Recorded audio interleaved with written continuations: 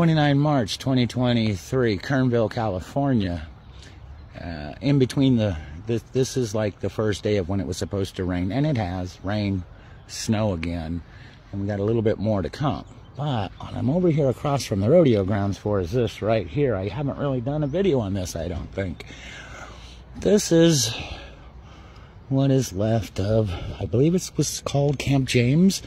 This is where, like, during the Whiskey Flat days, they come down in here and they set up camp, and this is where your horseback riders and the gunfight stuff will come from.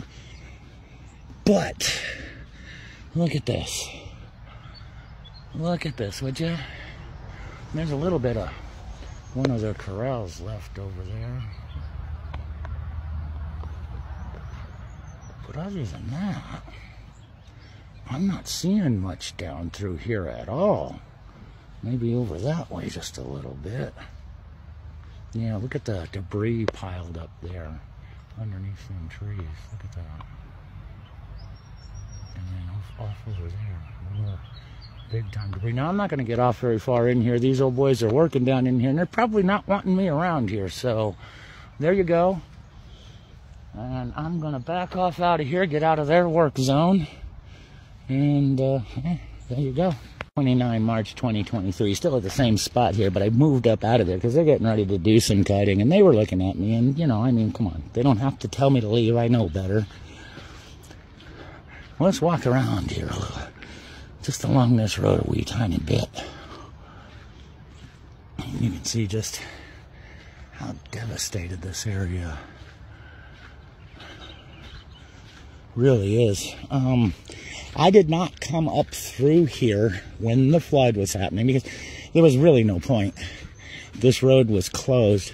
Down here around the corner, the water was up onto this road. Look at that. They've still got a pit, probably a barbecue pit by looks of it maybe. So that's still left over there.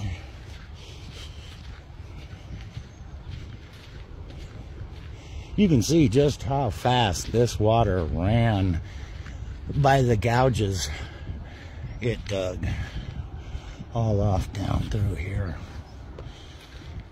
Trees all laying over. Was a live tree. It simply got uprooted.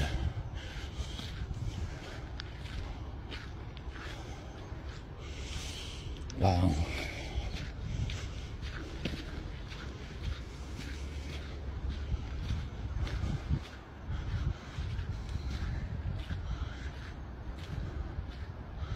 You know what? I'm going to go ahead, pause this, get back in my car, go up to that corner and film some more. So hang on, I'll be right back.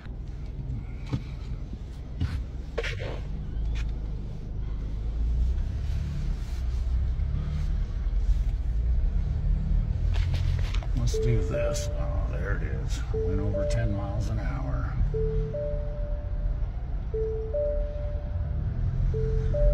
Well, it's going to keep doing that, and it is we'll just right on up here to the corner. Look at that. Just gone. All of their sand and everything is just gone.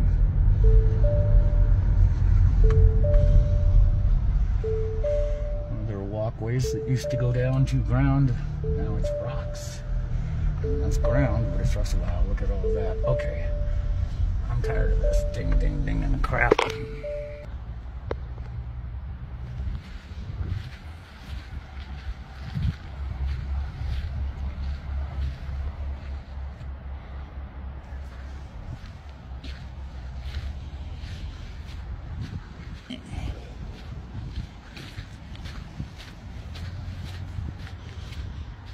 Okay, this right here, this corner, yeah, it was flooded. When I came down through here, when I was actually able to get through here, and I didn't do a video, I didn't do a video because I needed to just get through here. Look at this. Anybody who knows what this used to look like knows that this is nothing what it used to look like. There is just trillion, I mean, I'm going to just say it, just trillions of tons of sand that has been misplaced. This thing right here, this corner, where the river comes, it comes down back there, and then it hangs this sharp turn. Well, this road had water coming out of that corner down there and came all the way up, touched up into their fences here before it went back down into here. And that was evident by the uh, uh, Whiskey Flat encampment. There you go. Look at how big. wow. Whiskey, Whiskey Flat boulders.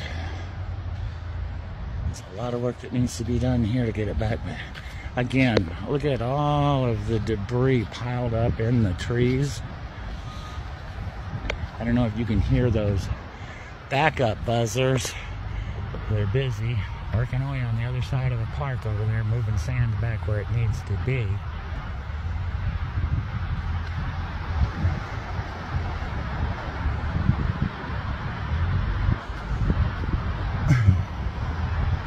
Alrighty.